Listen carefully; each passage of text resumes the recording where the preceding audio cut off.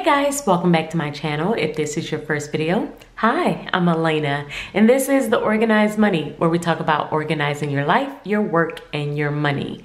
In today's video, we are diving into daily planning. I want to talk about how I organize my daily planner and how I use it in relation to my big Franken planner. So let's go ahead and get started. First thing is my Franken planner. So this is my big Franken planner that I use on a consistent basis to help me organize organize my life.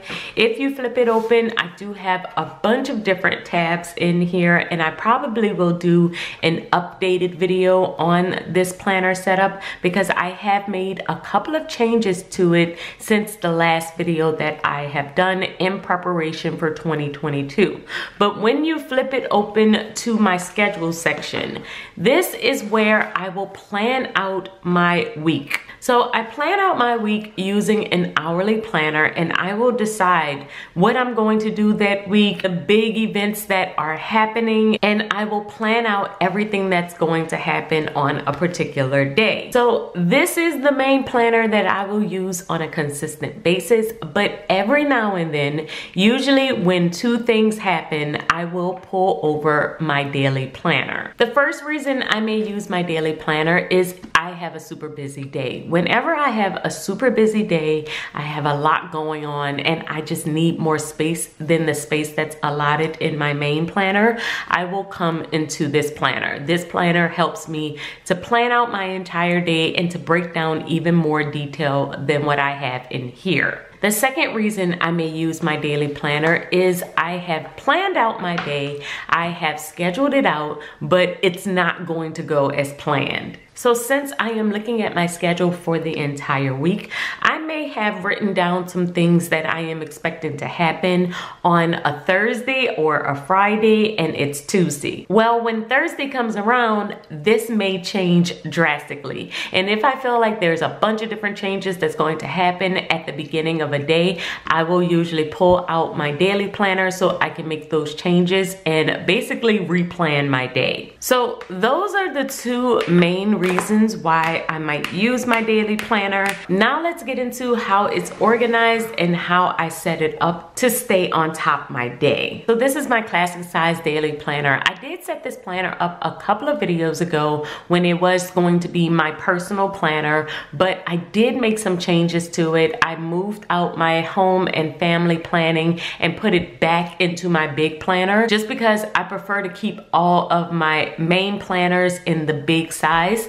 but I did keep my daily planning as a classic size. So when you open it up, I do have the daily planner all four months within here. I added the tab for the month of December and I did list out a couple of things that's coming up for this month, but I believe that I am mainly going to use this front section, this monthly section as a future planning section. So I did the month of December this month, even though that is the current month, but the next one that I do will be the month of February. And that's because I already have in my main planner the current month and I felt like it was redundant to put the events on here and on my main planner. But it is a great way for me to plan future dated things. So the next tab, I'm going to put the month of February because I will have the month of January already in my main planner, in my Franken planner, but I won't have a section for February. So I will do February on this monthly spread and then I will add all of my January dailies within the days. So I feel like that would be a better use of this monthly spread instead of trying to keep it for the month of January when I already have that within my catch-all planner.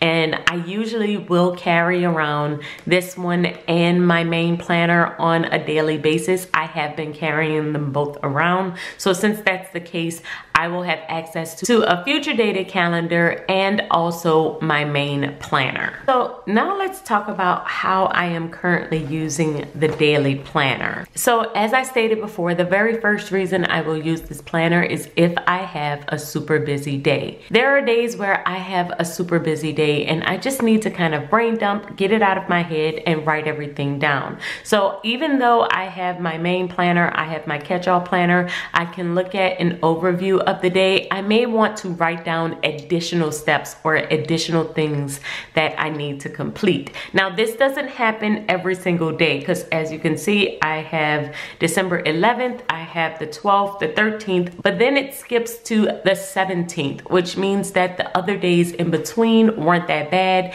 And it looks like I didn't even really need it on the 13th. I thought I would, but I didn't because it's not really filled out that much here. But I do like having access to this planner if I feel like I just need to brain dump and get things out because many times writing things out and just brain dumping just helps me to feel more clarity and I feel way more productive and ready to take on my day. So the first thing that I'll do is add my top three. So sometimes these top three is directly from my other planner and I am just basically copying them over. And then other times I have changed my top three. So if something has switched overall for my day, then I may change these top three altogether and revamp what my day is going to look like. So as I'm reviewing my schedule planner my weekly planner, I will relook and see what's going on and then I will add my top three here. The next thing that I'll do is add the additional details. So many times when I am looking at my planner, I will just have the overview written out here. I may have that I need to look at my planners or I need to film, but I don't have a lot of details of the different things that I need to do just because I don't have a lot of space.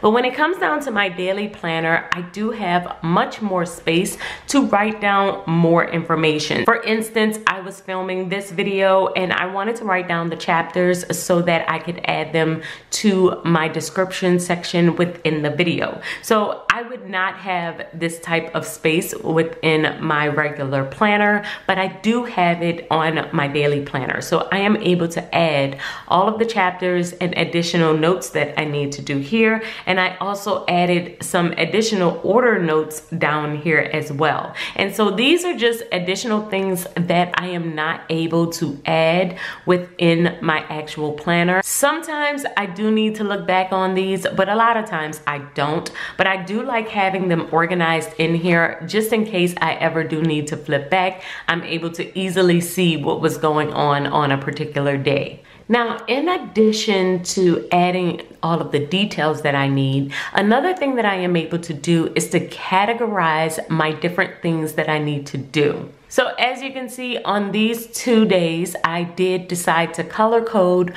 what I needed to do for my business, for my personal, and for my family. I did the same thing over here, except instead of breaking it down into sections, since I had so many things, I just listed them all out and put the highlighter right in front of it so that I know what category it falls under. But categorizing it does help me to stay on top of what I need to do under each category of my life. The majority of the time when I am using this sheet, I am using it for business purposes. So as you can see, if I have a lot going on, usually it is related to my business. But sometimes if I am working on a personal project, like when we were talking about my home decluttering process, I'm decluttering my closet. That's going to happen on the 26th. When that does happen, I could use a sheet like this to break down even further the things that I needed to do on that particular day. So these sheets just serve as a purpose of me being able to kind of get out all of the information that's in my head, put it on paper, break it down in detail, and I have a space where I can kind of clear my mind that is separate and apart from my actual planner. Color coding is a great way to be able to detail all of this information and to have it in one spot. And as I am completing these things, I am still using my red pen. As you guys know, I like to write in black. I will write everything out in black, but I will check it off in red. The reason I use red is because it just highlights the other color to me and it really, really will show me that I have completed an item. I felt like when I was checking off things in black, everything was kind of blending together and I couldn't really see the checks from the X's. So changing the color just really works for me. So I will check it off as I go or I will put an X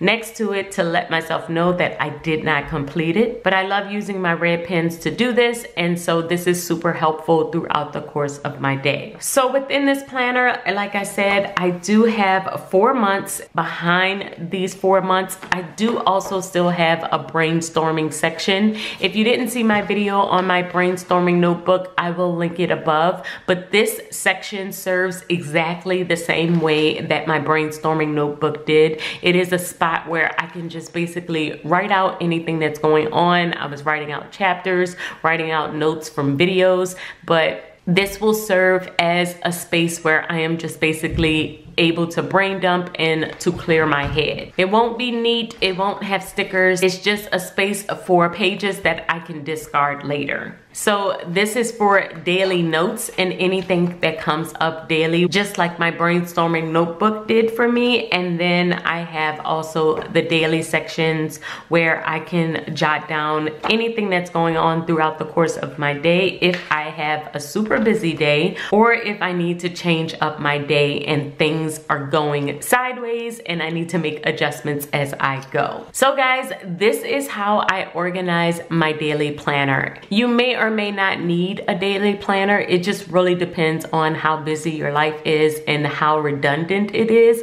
I know sometimes things will come up, throw a wrench in the plans and you're trying to scramble and figure out how you're still going to use your planner. So hopefully this video will help you figure out how you can switch things up, use a daily planner if your plans are completely thrown off and you need to replan your day. I will say this, if I do need to replan my day, this process takes me about five to 10 minutes. I am basically doing this in the morning with my coffee. I will take out this daily planner. I will compare it to my main planner and then I will just replan. But let me know in the comments below if you use a daily planner, how do you use yours? Are you using yours the same two ways that I use mine? Please let me know. I would love to hear from you. And if you want more details on how to organize your life, make sure that you check out my new membership called the Organized U. The Organized U is a monthly membership where we have live weekly classes. We have a book club. You have access to all of my planner downloads and you are able to connect with a whole bunch of other people who are looking to get organized just like you. If you want more information about it, make sure that you check out the description box below and I will see you guys in tomorrow's video. Until then, keep organizing your life so that you can achieve your dreams. Bye guys.